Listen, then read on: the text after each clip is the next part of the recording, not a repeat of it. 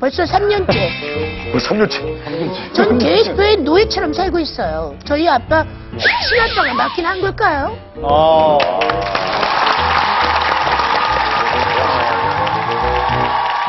얼마나 서러울까 정말 고민일 텐데 고민의 주인공 이쁜 이 친구를 모셔보도록 하겠습니다. 나와주세요.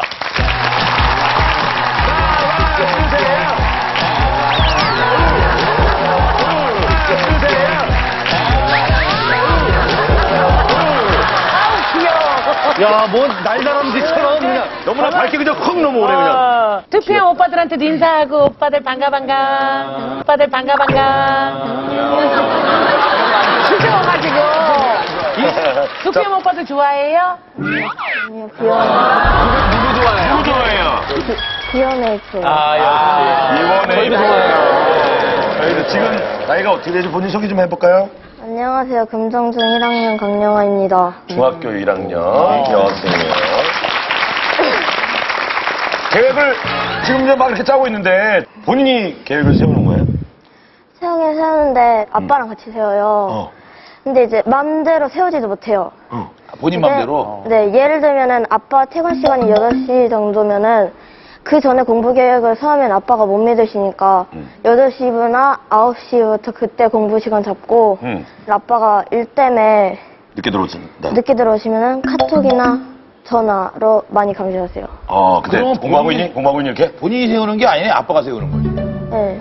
어, 그러면은 여기 지금 이제 있어요? 어 우리 학생이 계획표? 예, 학생이 쓸 만한 게 아니에요. 예, 이게 지금 이렇게 두꺼운 거는 거의 뭐 아버지 거 아니에요? 예, 영업 영업 사원 거. 중학생 사이열가 아니에요? 자 보세요. 가계부 같은 좀 읽어주세요 학교 학교를 갔다가 3시쯤 와요.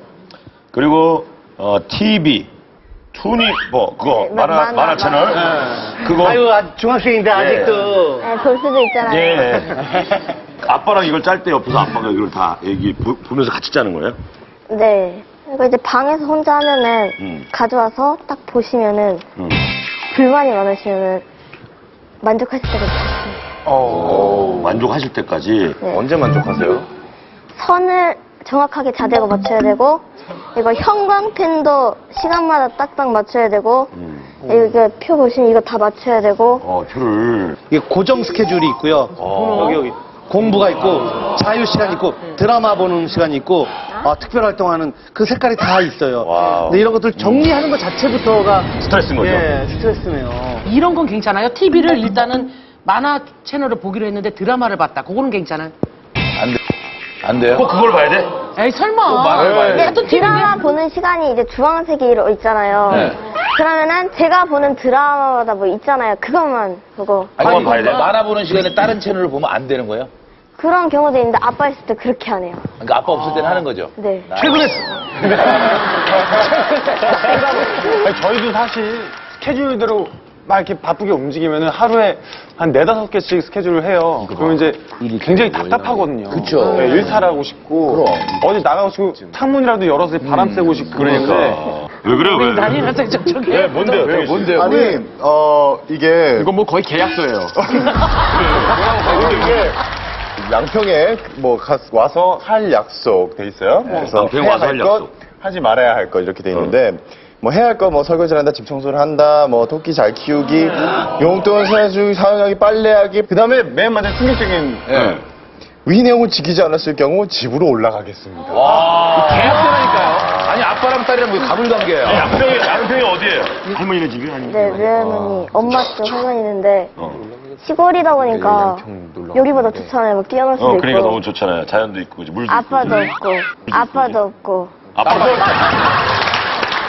아빠도 그러면 그 양평으로 가면서 이거를 아빠랑 같이 짜고 내려간 거예요? 네. 여기에 예, 예. 또 충격적인 게 있어요. 2030년도까지 계획이 써 있어요. 그리고 중요한 건 2013년인데 예, 2030년 계획이 뭔데? 나는 2030년도까지 내가 원하는 꿈인 연기학원을 실현 설립할 것이다. 연기학원을. 밑에 없어요 그러지 못할 경우 그건 없네요, 그래도 다행히도. 또 아빠 때문에 힘들었던 거 잘 얘기해 보세요. 근데 제가요, 다 짜놓은 계획표를 시골에 놀러 갔다가 두고 온 적이 있는데 네? 아빠가 딱 게임하려고 했는데 가져와 보래요. 그러니까 막, 아, 이거 시골에 두고 왔다. 오늘 하루만 봐줘야 했더니 막 없다고 안 된대요. 그래가지고 컴퓨터 본체를 회사에